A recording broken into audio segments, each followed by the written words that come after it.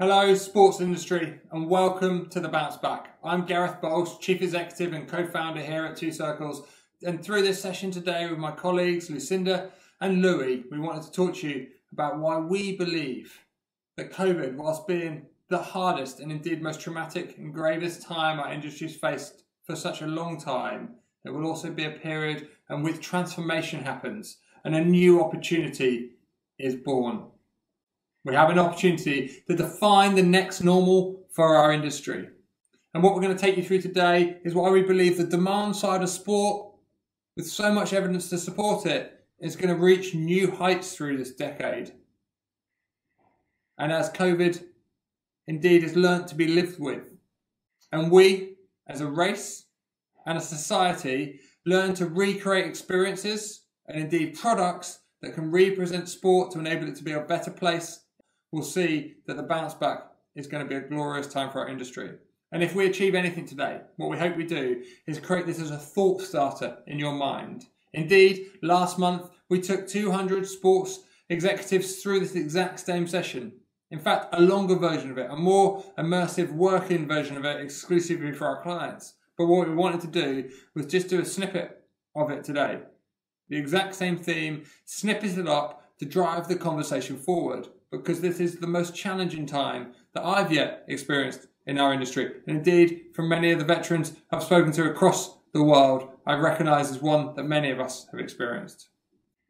Many of the themes we'll share today are pretty positive, but it's not lost on us that we're stood here in a very negative moment. Indeed, it's really dark. In so many countries around the world right now, we recognise that daily cases, daily hospitalizations, and indeed most tragically of all, daily death tolls are at near record highs, if not record highs. And with that, we recognise there's more reasons than ever to be pessimistic.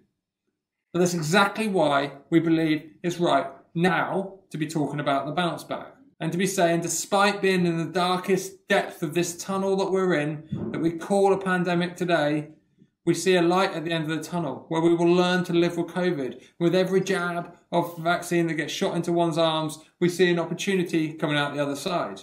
We see a light.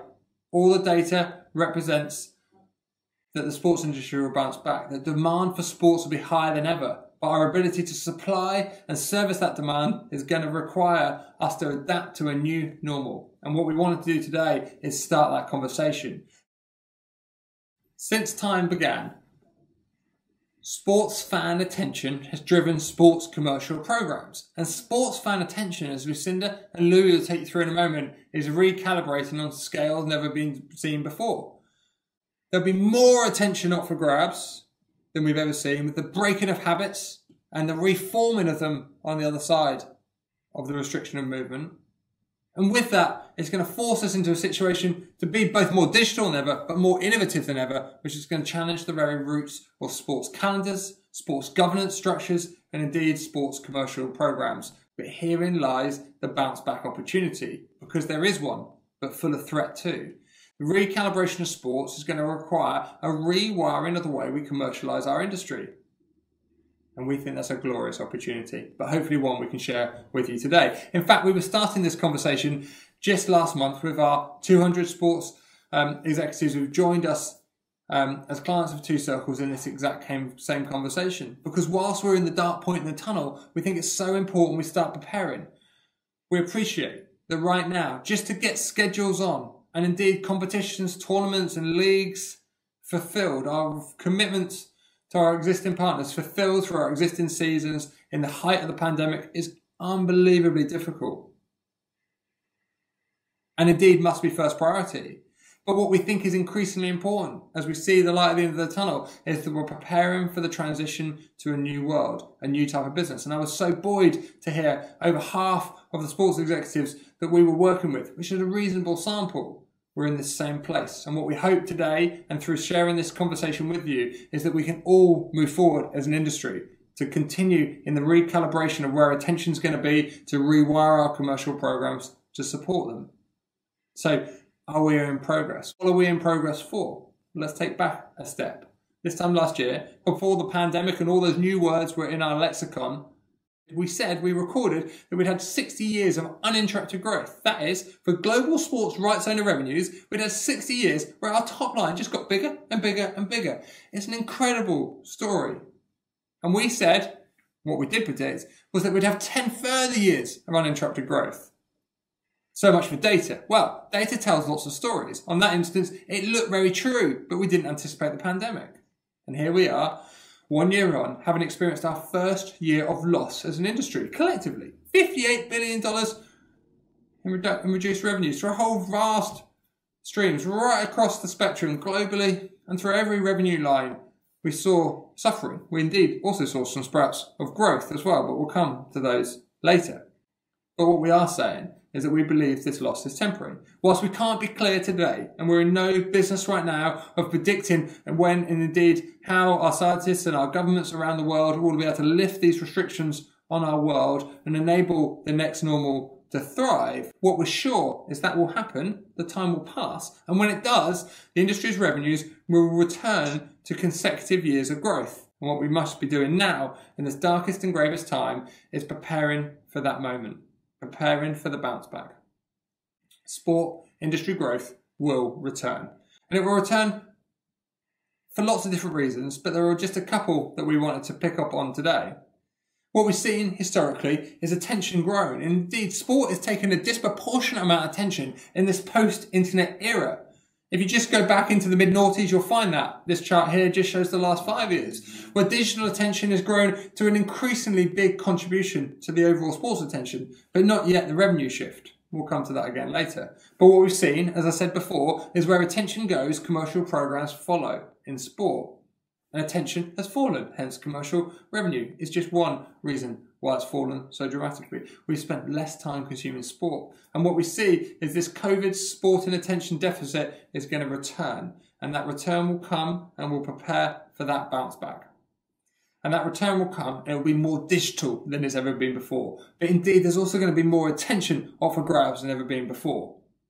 And Louis and Lucinda will talk about both of those trends now. The breaking of habits, that we were in such a habitual cycle previously, and we've gone through this period now of nothingness, relatively, and we're going to come out the other side and habits will refreeze. And therein lies sports attention. To win more attention than ever been before through a more digital engagement than ever been before is going to enable us to take advantage of the demand side benefits that we're going to see in the next normal. But indeed to be supported by the right servicing of that, which is really our challenge as I speak to you today as a group of sports rights owners. So growth will return. Of that we're confident. We can't say exactly when, but indeed, as the pandemic softens and vaccines strengthen, we believe that growth will return for sports rights owners' revenues. But those that transition fastest to the next normal are going to be the ones that will benefit most. And we hope this drives that conversation. So I'm going to chuck it over to Lucinda now, who's going to continue that and provide you a little bit more data for where our confidence comes from. Lucinda. Thanks, GB. So, yes, growth will return, and let me tell you why we're confident in this. Over the last 12 months, we've seen our world turn upside down. We've seen unprecedented social restrictions. And what this has meant is it has meant that we've been starved of collective experiences, of togetherness. We've felt it and we've seen it everywhere, and no more so in sport, with stadiums sitting empty and fixtures being dropping off our calendars. Why does this matter? It matters because as human beings, we crave togetherness. We crave new collective experiences. It's part of our DNA, it's how we evolved. We evolved learning and experiencing things with each other. And sport? Well, sport is the ultimate source of togetherness. Oh, many of us I know probably have experienced it that emotional connection you have, where you can be in a stadium or in a pub with hundreds or thousands of other people and you're all experiencing this thing. It might be slightly different for each of us, but you're all experiencing it together the highs and the lows. But we've been stripped of these experiences or this sense of togetherness over the last 10 months.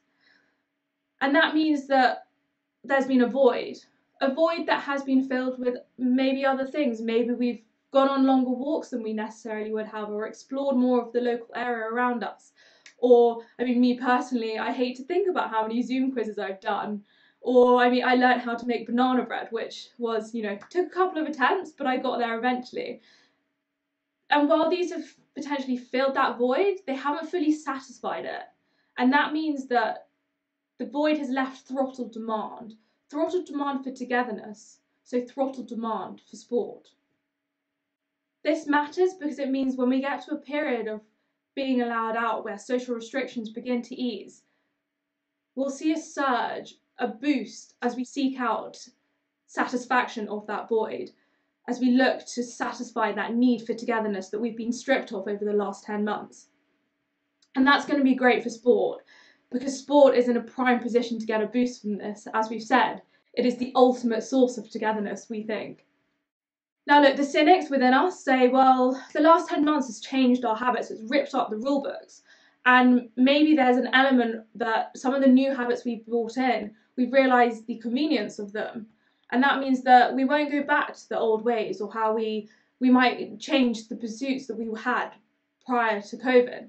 But we think that there are three key indicators as to why we're confident in the prediction of the bounce back and why we think that sport will see a surge and a bounce back. And those three things are history, purchase and consumption demand, and societal behaviour. We look at history. History, Mark Twain once said, never repeats itself, but it does often rhyme. If we look back to the last time that we saw similar levels of social restrictions, what we can see is that people choose to go out and seek out togetherness following those restrictions being lifted. We seek new experiences and we seek it through sport. There was a surge in demand for sport following the easing of the social restrictions after World War II.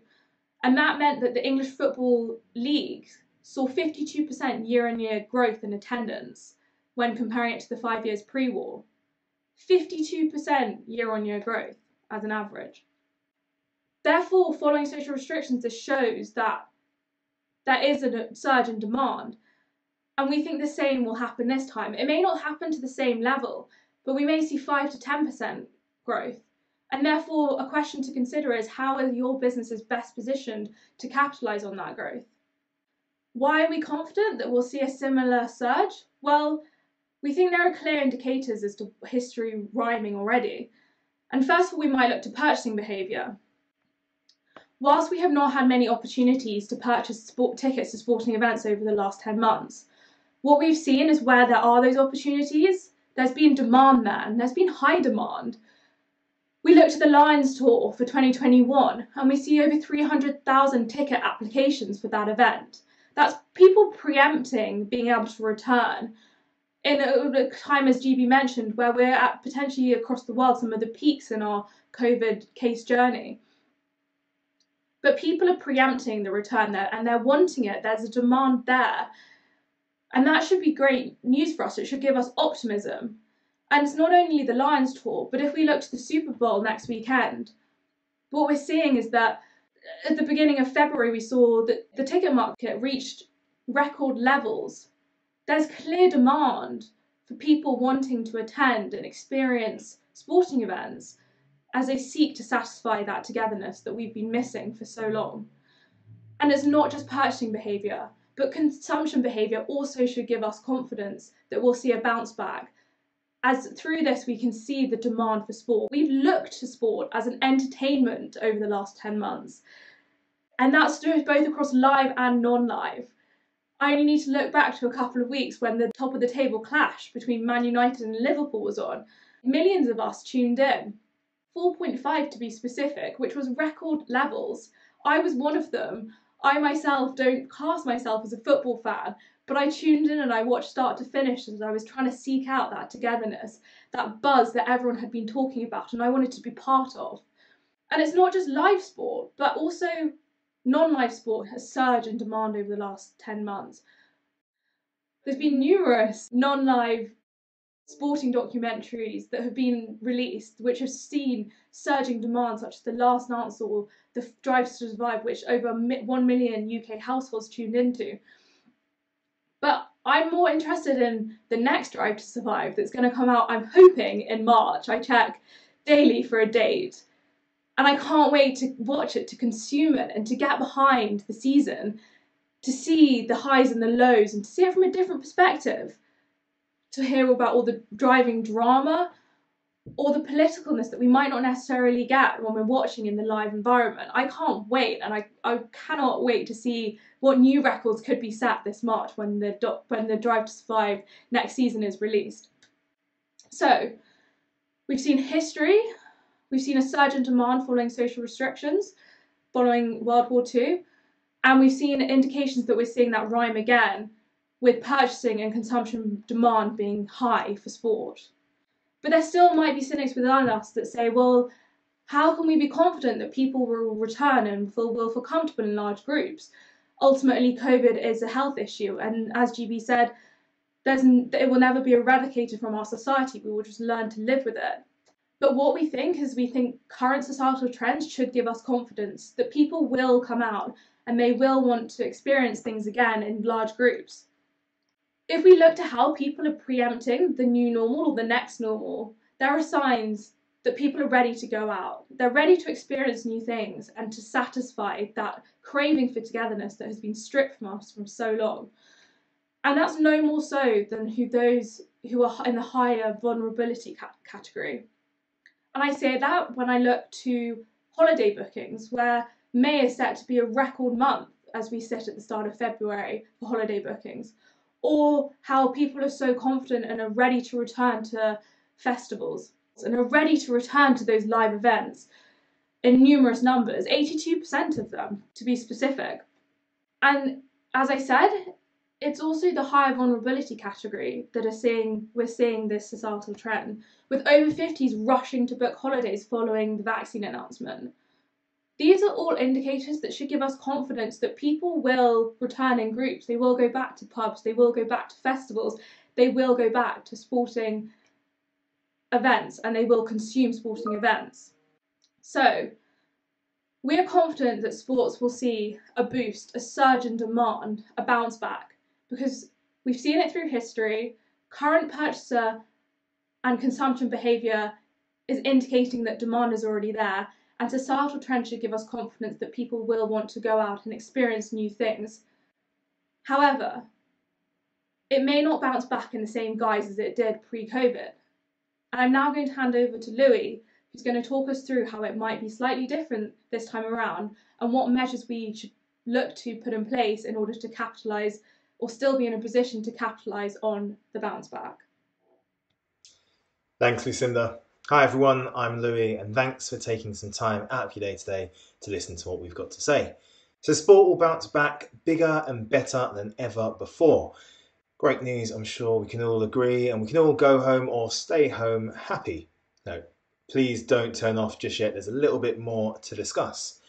We know it's tough at the moment and it's hard, and we're not quite in the bounce back just yet, but we're confident that it is coming.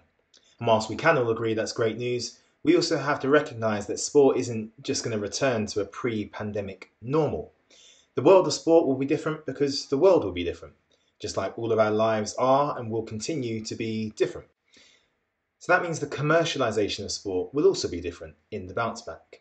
And to make the most of the opportunity that the pent up demand that Lucinda's just talked through um, affords us, we have to prepare and really have an answer for the question of what will be different. Over the next five minutes or so, we'd like to chat through two big ways we think that the world of sport will be different in the bounce back. Number one, there will be more sporting attention up for grabs. There will be more sporting attention up for grabs. This is the way it's traditionally worked in the world. We've demonstrated a behaviour, that might be purchasing a ticket for an upcoming fixture. We've got a reward, which could be a fantastic match day experience, maybe some great food at a reasonable price at halftime, maybe even a win if we're lucky. And that's made some chemistry happen that I'm not going to pretend I'm smart enough to explain to you today, but basically it's made us feel good. And so when we've received a cue, which could be a beautifully designed email nudging us towards the next relevant fixture, we've thought back to that reward and feeling good and we've repeated our behaviour. And over time, that's driven these habitual consumption behaviours. But COVID's thrown all of that into disarray. That virtuous cycle no longer works in quite the same way that it used to. If we consider our lives as being able to be Split up into these finite chunks of time, it might look something like this, with different windows for our different interests. Here's, uh, here's what mine might have looked like in the top right, a very positive looking graph. Uh, some pancakes, Love Island certainly rings a few bells for me.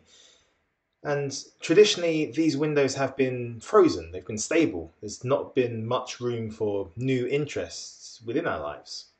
But as Lucinda alluded to, COVID's changing that.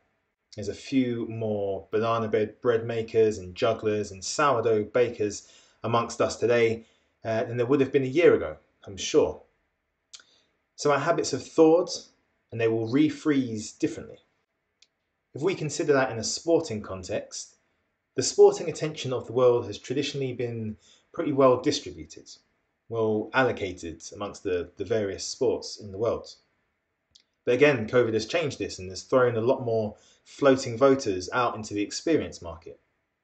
So, what does that mean for all of us? What does it mean for our season ticket holders and their routines of attendance? What does it mean for our viewers who are used to tuning in at a regular time each week? What does it mean for our on sale dates that we've kept consistent for the last five years and have worked really hard to ingrain in the backs of minds of our fans? Well, it probably means we need to refocus our energy back into retention. We've all got greater and, and increasingly efficient at bringing our customers back week on week or year on year or season on season. And so it might mean that we have to refocus and pay more attention to retention again. And that might mean that your cost per renewal goes up slightly. But on the flip side, it could mean your cost per acquisition comes down. There's pent up demand and an experienced market a little bit more predisposed to trying new things. Back in late January, we asked 200 or so of our UK and EMEA clients whether they saw this as more of an opportunity or more as a threat. And most people said opportunity. There was great positivity and optimism amongst our clients on that day. And we agree. Largely, we're optimistic about this and we see it as a, as a fantastic opportunity to drive fandom from our most passive fans to our most loyal, as long as we prepare for the change in the right way. So, big change number one there will be more sporting attention up for grabs. Change number two digital is now normalized in every part of life. Digital is now normalized in every part of life. Today, this video is a great example of that. I've had very few opportunities to talk to the sports industry, and even fewer to do so whilst stood in my front room, uh, in my slippers, admittedly, with our pet rabbit looking on as the only physical attendee. But it's happening for all of us. And it's something that was happening pre COVID as well, but obviously the current situation has accelerated that. How many of us have ordered groceries online for the first time ever in the last 12 months and have been surprised and amazed at how easy it was and how nice it is to not get the lines in your hand from carrying all the bags in one go? How many of us have streamed our first ever online fitness class alongside thousands of others from all across the country and even beyond. And if we look to online car sales, we've seen the growth of places like Cazoo, where you can search for a car using numerous filters, guarantee quality and delivery, and you never have to deal with the hassle of arranging an appointment or kicking tires and pretending like you know what you're doing if you're anything like me. Across buying, consuming, and interacting, we're seeing this digitization of life. Entertainment and leisure experiences that can be provided from the comfort of your sofa, as long as your internet connection is strong enough, of course. We are at a historic moment of receptiveness, if not expectation, that the things we care about can reach us digitally and personally, and in a way and at a time that works for us. Sport has to react the same way other sectors have had to. We have to work to ensure we have direct digital relationships with our fans and work to match those customer expectations, which are now higher than ever. When fans are able to return to stadiums, there will be a huge demand for unique physical experiences. And physical event providers have to ask and answer what physical events can provide that digital events cannot. So, there'll be more sporting attention up for grabs, and digital is now normalised in every part of life. I'm going to throw back to Gareth now. He's going to tell us what do we do now? So, what now? What should the sports industry do? There's an attention surge coming, but with different types of attention, where sports fans would have recalibrated how they want to engage with our marvellous industry. And yet, if we supply what we've always supplied, then the revenues won't bounce back, and therein lies the opportunity. The sports industry is on the on the um, at the precipice of a bounce back. If it can take advantage in this growth of attention and match it with a change in supply to affect what fans want, and that deep understanding of fans will be the underpinning of every and each sports property, sector, and industry around our globe. And by fusing those things, we'll look back on this period as an incredibly hard time where we suffered so much loss, but yet also were able to rewire our industry.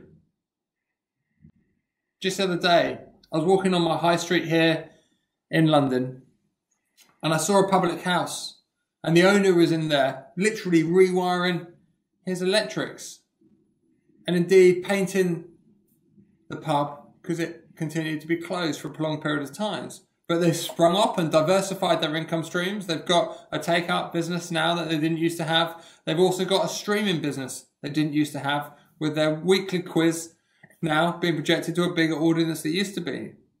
The sports industry's job right now isn't necessarily to go and repaint its stadia or indeed to rewire its electricity. But what it might need to do is rewire its commercial programs to reflect where attention now sits. New attention is going to be generated as we come outside of the of, of the COVID pandemic as the vaccines kick in. And as Louis very articulately put it, those that we used to get their attention from are going to be less dependable as their habits have been broken. And those that we didn't necessarily see as target audiences are going to be more open, more predisposed to our property than ever been before. To market ourselves and be ready for that in new ways is going to be an amazing challenge. And that's going to require innovation of our experiences. It might also require change to governance of how we manage our rights and indeed our properties. It's absolutely going to require us to communicate in ways that are now just expected. Direct, data driven, digitally native at every turn point. And that transformation, having spent all my professional career working with sports organisations, rights owners around the world to make these changes, is one that's a call to action we've been working towards for a long time, but now is more important than ever that our industry needs to go to the next normal to bounce back and to really benefit from this otherwise incredibly hard time. And boy, we know the sports industry needs that bounce back. And what we hope we've done today is brought that conversation further forward in your head and to build on the fact that you know some of your colleagues, as we've shared in this presentation today, are also thinking about these things and starting to create the conversation in your organisation. How can sports benefit from what has otherwise been a very difficult time? And the answer relies in bouncing back to take advantage of new attention, but monetizing it in new ways. And what we hope that's done is brought that conversation a little bit closer to your sports rights owner, to your sports industry, to how you can make the world a better place through sport. And we'd love for you to join in that conversation. We've just shared a snippet of the work we were going through with all our clients around the world in January on this very topic. But what we hope we can do is take this conversation forward and help prepare the sports industry for the bounce back and defining that next normal for our industry. We thank you greatly for listening in and look forward to continuing the conversation. Thank you very much.